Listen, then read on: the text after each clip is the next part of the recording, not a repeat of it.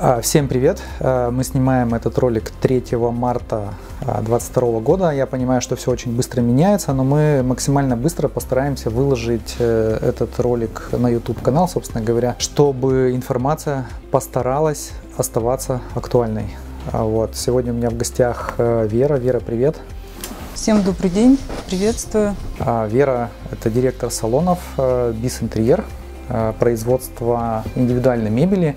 Так получается, что э, сейчас в современных э, квартирах и домах практически не обходится без индивидуальной встроенной мебели. Это шкафы, гардеробы, кухни, комоды, тумбочки, столы, всяческие э, встроенные системы и прочее и так далее. Ну и, собственно говоря, я позвал Веру специально для того, чтобы она рассказала, какая ситуация именно с мебелью на заказ. Вот. И первый мой вопрос, он э, такой, что вообще в салонах происходит? Люди приходят, заказывают, э, как вы себя ведете, вы им что доделываете, отгружаете, не отгружаете, бери, принимаете заказы, не принимаете? Это не один вопрос. Их прозвучала масса. Сейчас а, Народ приходит? Постараюсь, да, последовательно ответить. Во-первых, народ, конечно же, приходит. И я думаю, что делают правильно, потому что с той стремительностью, с которой сейчас обесценивается рубль. То есть стараются как-то зафиксировать. Да, зафиксировать, во-первых, стоимость, ну а и вложить. Его принятие и зафиксировать стоимость. И Мы пока вообще, в принципе, даже заключаем э, договора по 50% предоплате хотя многие авансы, да, хотя а многие уже переш, да, мы фиксируем и сохраняем стоимость. У нас еще не было прецедентов, и я надеюсь, не появится, чтобы мы потом меняли после заключенного договора как-то цены. Единственное условие, ну, что изменилось э, в нынешних реалиях, что при заключении договора заказчик обязательно должен а, зафиксировать все материалы и фурнитуру. То есть такого, как раньше, допустим, а я пойду подумаю, Поменяем какой мне цвет, да, я не знаю, какая фурнитура лучше. Сейчас это точно не работает, потому что сейчас объясню почему. Сразу же после Не, ну, заключения договора а, в течение двух-трех часов дизайнер должен скинуть это на производство. Если на нашем складе каких-то позиций нет, мы обязательно закупаем это, бронируем сразу же, выставляют нам тут же, считаем и тут же оплачиваем. Потому что многие поставщики сейчас переходят а, ну вот прям по факту. То есть если сейчас выставлен счет, он может поменяться к вечеру никто никаких гарантий не дает, то есть поэтому чем быстрее мы срабатываем, тем быстрее, ну, как бы мы э, себя тем самым можем обезопасить и в конечном итоге не подвести заказчика. Это ну, сейчас основное. То есть получается, ну то есть вы стараетесь э, выполнять свои обязательства в любом случае? Однозначно. Значит, заказчики приходят, стараются, те, кто делает ремонт, или там планировал, они стараются прийти сейчас деньги зафиксировать, чтобы не потерять э, на девальвации, там, на, на чем там да, еще, на обесценении, не знаю в чем. Самое главное. Не дай бог девальвации. Не дай бог. В общем, сейчас самая главная задача, которая стоит, это, как ты правильно э, сказал, вложить деньги и максимально э, обезопасить их, да. То есть сейчас, получается, деньги – это товар, который нужно Э, зафиксировать. То есть э, нет такого, что мы там подождем или еще что-то, при том, что непонятно, что с валютой, а приходят не только те, кто делает сейчас текущий ремонт, и не только те, у кого он уже там запущен, а, то есть те, кто откладывали ну, в какой-то среднесрочной ну, перспективе, ну, когда-нибудь мне бы кухню тут поменять или вроде шкаф надо обновить, для того, чтобы не потерять эти деньги. А, то есть сейчас мебель это, конечно, не вложение как таковое, то есть это не сбережение, но это как минимум а, фиксация от потерь. Ну, понятно, да.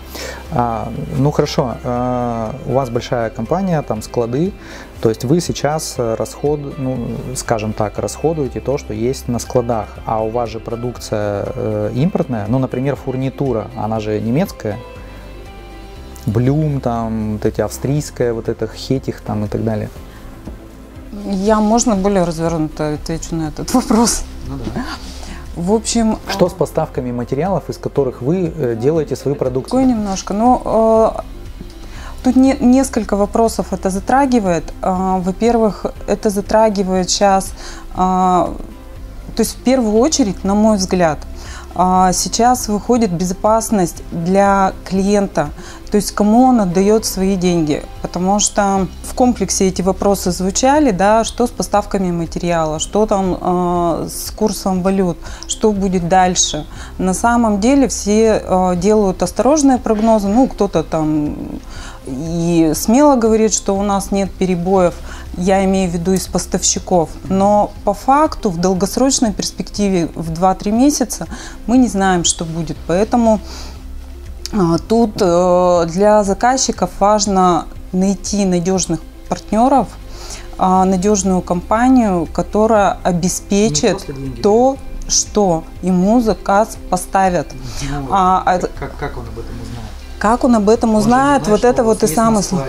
Ну, на что нужно обращать внимание? Во-первых, сейчас а, э, все компании, которые имеют э, дополнительные расходы там, в плане аренды, кредитов, лизингов, а, обременений всевозможных, а, они в первую очередь как бы подвергаются финансовому риску. То есть сейчас финансовая стабильность компании, она самая важная. На самом деле Слушай, это ну, проверяется. Это понятно, это, это все понятно, это и раньше было актуально. А, я, я хочу спросить, вот у вас же есть свой склад, правильно, на котором вы держите запас определенный? Да, и мы его просчитали. То есть на данный момент мы просчитали, что стоимость нашего склада, она э, рассчитана при ну, нормальной загрузке производства на 6-8 месяцев. Ну, Е- да, если мы говорим о том, чтобы, ну вот, э, это же не значит, что мы все э, позиции храним на складе, то есть да. часть позиций, они заказные. Мы говорим об общей стоимости склада. Если мы будем говорить там, но о таком, сколько заказов мы можем обеспечить, да, бесперебойно, это порядка 4 месяцев. Это тоже очень большой запас, потому что, а, во-первых, мы эти запасы делаем всегда. А, то есть, например, фурнитура, которая идет постоянно, это такая, ну, мы используем фирму Bloom, такая, например, как петли, подъемные механизмы, а, выдвижная фурнитура. То есть вот это, это то, что постоянно у нас в достаточно больших остатках на складе. То есть даже до всей этой ситуации сложившейся у нас в среднем склад мы старались поддерживать где-то на пару месяцев, чтобы ну, вот бесперебойная работа.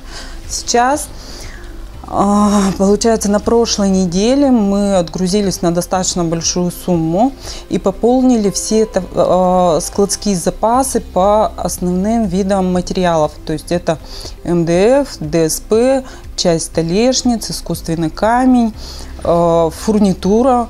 И ну, вот на данный момент с уверенностью можем сказать, что ну, вот на бесперебойную работу нам на 4 месяца однозначно хватит. Ну, а, то есть вы не закрываетесь. Нет, Ваши ни в коем случае. Наша задача... Не закрываются. Наши Они думают, как этот товар э, вам предоставить, где его взять и так далее. Ну, то есть вот мысль такая, что вы свои обязательства выполняете. Я к чему? Что вот, например, если сейчас кто-то э, в процессе ремонта, да, и хочет э, его быстрее завершить или вот, как мы сейчас обсудили, не сейчас завершить там, да, но когда-то придется делать, что он может сейчас, например, э, прийти, просчитать проект, э, зафиксировать цену и быть уверенным э, в том, что вы этот материал для него сохраните, и, соответственно, потом все изготовите при тех ценах, при которых вы обговорили? Это однозначно так, но все-таки рекомендую сильно не затягивать, потому что есть у нас и раньше было, и сейчас есть такие проекты, которые идут с реализацией более полугода.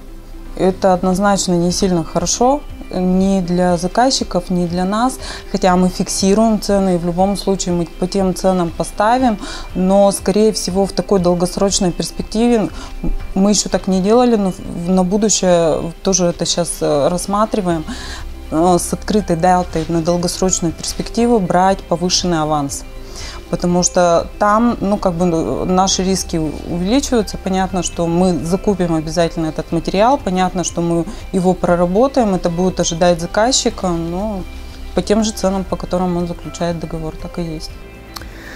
А, понятно. У нас э, материалы, которые поставляется вам. Это же получается ДСП, МДФ, краска. МДФ у нас годовой запас на складе.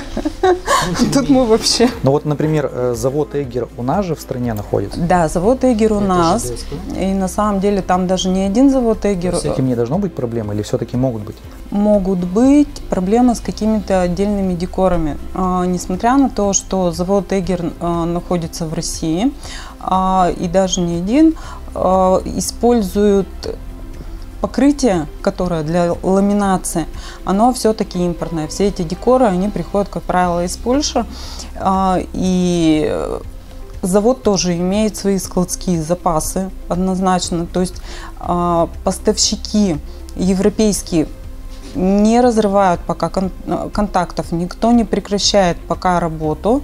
Я, кстати, Но хотел задать э, этот вопрос. какие-то перебои, то есть вот, с отдельными декорами. То есть вот из ваших поставщиков никто не разрывает контракты. Вообще что они говорят? А, ну, у нас тут было время, не, не к 3 марта мы немножко подготовились. Мы, конечно, собрали и поставщики, потому что первые два дня это была вообще шоковая тишина. А потом более-менее все стали прояснять хотя бы ситуацию и какое-то понимание на сегодняшний день у всех есть. А поставщики не никто даже не думает прекращать работать. А компании а, европейские с которыми они сотрудничают и заключены э, договоры на поставки, никто не разрывает точно. Пока договоров, и все ну, как бы настроены достаточно оптимистично, потому что бизнесу, а, как нашему все-таки, так и европейскому, это будет крайне невыгодно. А, поэтому, ну, альтернативу все-таки сейчас ищут в чем? А, проблема может быть с доставкой логистически. Ну, это какие-то новые пути доставки да, просто. Просто будут новые пути доставки. Скорее всего, это будет для ну и для нас, и для конечного заказчика дороже, потому что увеличится ну, сам логистический путь, появятся какие-то компании, возможно, да, страны бывшего СНГ, да, и которые будут, конечно, тоже стараться что-то заработать. И тут будет зависеть от того, ну, какие внутренние будут договоренности уже внутри вот этого пути. Но на самом деле эти пути уже обсуждаются, и я даже от многих компаний слышала, что ну, достаточно так ну, уже а прорабатывают. Э, рассмотреть азиатские рынки, там оттуда вести петли ДСП, МДФ, краску, там еще что-то? Но он и сейчас доступен, этот путь, его вообще никто не закрывает, кроме того, что э, курс вырастет и эта продукция подорожает, по большому счету риски с азиатской фурнитурой, ну в том числе там с китайской, да, а в принципе, ну вот по основным механизмам и по, ну там ящики направляющие, петли, подъемные механизмы, выдвижные механизмы, есть аналоги но придется немножко другого уровня, то есть с Мерседеса пересесть на Kia. Но ну, на самом деле это неплохо, это все равно это фабричный хороший Китай, они работают уже ну не одно десятилетие, а, и как Китай для себя делают? Ну, как Китай вообще много и на Европу чего делает. Ну, я не говорю сейчас про фурнитуру Блюма в целом. Но на самом деле это неплохая, э, неплохая будет альтернатива. И, возможно, ну, на какой-то период э, это будет выходом. Я все-таки надеюсь, что Европу э, для нас совсем не закроют. Но, в принципе, можно, конечно, будет ориентироваться и на Китай. То есть здесь поставок, ну, с поставками никаких проблем нет. Ну и Китай достаточно дружественно, по-моему, и сейчас воспользуются э, случаем. Что-то вы, дел... что вы делаете для клиента, ну, помимо того, что э, фиксируете аванс, э, берете аванс там не 100%, там, а часть какую-то, что-то, может быть, еще, или как, как вообще планируете в будущем? Не совсем поняла вопрос. Мы много чего делаем. Что конкретно для клиента? Ну, для безопасности имеешь да, в виду? для безопасности, в частности, конечно. Не, ну, во-первых, в плане лояльности там, да, то есть в какой-то помощи, возможно. Ну, то есть э, сейчас некоторые компании берут 100% предоплаты. Взяли и типа мы сейчас вам привезем когда-нибудь. Вот это не очень лояльно, мне кажется. Ну, мы на самом деле... Ну, Здесь и не лояльно, и не безопасно. За все 22 уже, можно сказать, года работы мы, в принципе, всегда показывали э, самую лояльную позицию по отношению к заказчикам. То есть мы в свое время первые предоставили рассрочку без процентов за счет собственных средств. Мы всегда держали, говорю, складские запасы, чтобы а, соблюдать сроки, несмотря ни на что, ни на какие перебои, не зависеть вообще ни от кого. Поэтому у нас а, полный цикл, комплекс всех услуг именно на нашем производстве. А это тоже как бы ну, безопасность, потому что мы можем сделать все сами, мы контролируем и сроки, и качество, ну, в первую очередь сроки и качество, и в том числе ценообразование. То есть это первое, что мы всегда думали, это о безопасности. Ну и говорю, мы пока не планируем увеличение аванса. Рассрочки точно не будет. Я думаю, что сейчас в связи с повышением а, ставки Центрального банка сейчас вообще, похоже, уйдут от рассрочки, потому что ну, перед встречей с тобой тоже уже обсуждали. Сегодня была антикризисная встреча мебельщиков, и там как раз обсуждалось, что, ну, по крайней мере, кто присутствовал на встрече, то от рассрочки уходят все. И вот эта ситуация, она зависит, ну, не от компании, конечно, это, в принципе, от, э, от той ситуации, которая сложилась. И, ну, вот только наличные средства, это, конечно, для заказчиков будет не очень удобно, но по-другому пока, видимо, никак.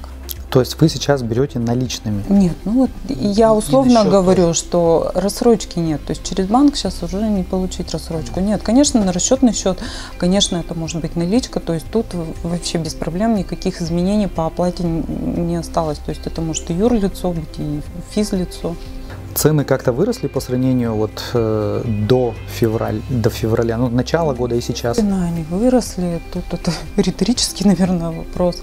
А, в первую очередь мы все заложники той ситуации, которая э, возникла, конечно, и э, сегодня, опять же, на этой встрече мебельщиков антикризисной тоже там а, такие небольшие были ну, конфронтация, не конфронтация, то есть мебельщики э, на поставщиков, почему вы так повышаете цены, а поставщики объясняют это тем, что мы даже закупаем по прошлой цене, мы не можем по этой цене сейчас отгружать, потому что у нас иначе будет кассовый разрыв, мы не сможем э, закупить э, новый товар в том же объеме, который есть. Поэтому все перешли на курс Центробанка, Многие компании, которые раньше руб... А, вели прайсы в рублях, они пересмотрели их на евро и доллар, то есть перевели в валюту.